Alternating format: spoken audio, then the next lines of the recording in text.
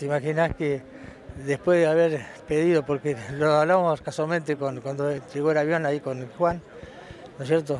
Mirá que has hinchado dice, con este asunto del, gas que se Y yo siempre le decía, que, sea que llegue a Maquena, porque Maquena tenía incluso todos los papeles realizados, todo, todo listo para largar el gas acá. Pero lamentablemente, este, y tenía razón el, gobernador, dice, no puedo dejar la gente, la demás gente afuera. Pero hoy se cumplió, se cumplió y estamos totalmente contentos. Te imaginas que traer el gas a Maquena era, era algo imposible. Hoy es la realidad. Y además también la realidad de una escuela proa. También, evidentemente ahí se pasó el Juan. Con eso, este, pero bueno, estamos muy agradecidos, por supuesto. Yo, yo soy un, agradecido de, de, por ese motivo, porque a Vicuña Maquena creo que le ha dado mucho.